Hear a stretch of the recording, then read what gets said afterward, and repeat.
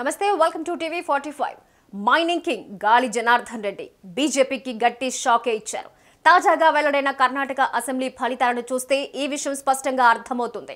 ఒకప్పుడు బీజేపీలో ఓ వెలుగు వెలిగిన గాలి తరువాత పార్టీపై పలు ఆరోపణలు చేస్తూ దూరమయ్యారు. దీంతో మొదట పార్టీకే దూరమయ్యారనుకుంటే తరువాత ఏకంగా సొంత పార్టీనే ఏర్పాటు చేసి ఇటీవలి జరిగిన కర్ణాటక ఎన్నికల్లో బీజేపీకి తగ్గ బదులిచ్చారు.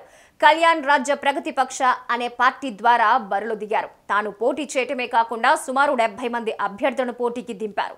దీంతో ఓట్ల చీలికతో కర్ణాటక ఎన్నికల బీజేపీ ఓటమికి ప్రధాన కారణమయ్యారు. ఉత్తర కర్ణాటకలో సాధారణంగా బీజేపీ స్ట్రాంగ్గా ఉంటుంది. అలాంటిది గాలి పార్టీ దెబ్బకు కమలం కుదేలైపోయింది. బళ్ళారి రాయదుర్గం రాయచూర్ జిల్లాల్లో కేఆర్పీపీ అభ్యర్థులు బీజేపీకి గట్టి పోటీనిచ్చారు. సుమారు యాభై నియోజకవర్గాల్లో బీజేపీ అభ్యర్థుల ఓటమిపై గాలి అభ్యర్థుల ప్రభావం స్పష్టంగా కనపడుతోంది.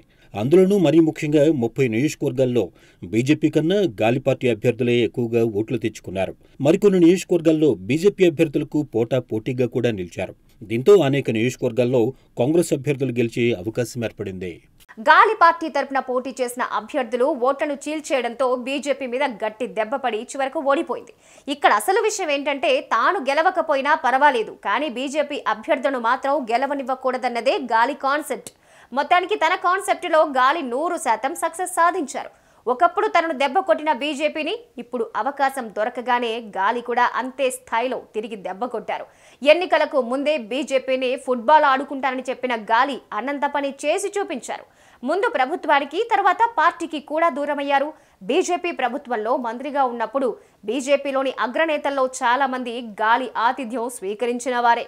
తర్వాత ఆయనపై కేసులు నమోదు కాగానే మంత్రిగా తప్పించారు. తర్వాత పార్టీ నుంచి కూడా బహిష్కరించారు. Música